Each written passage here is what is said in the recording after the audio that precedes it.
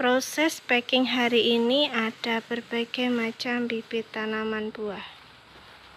Ada bibit kelengkeng mata lada, bibit sawo jumbo, bibit mangga mana lagi, dan juga ada bibit durian pelangi dan berbagai macam bibit lainnya proses packing tanpa pengurangan media sama sekali.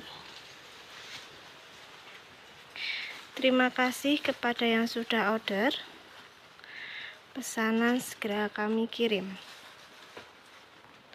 Untuk informasi dan pemesanan bisa menghubungi nomor yang ada dalam video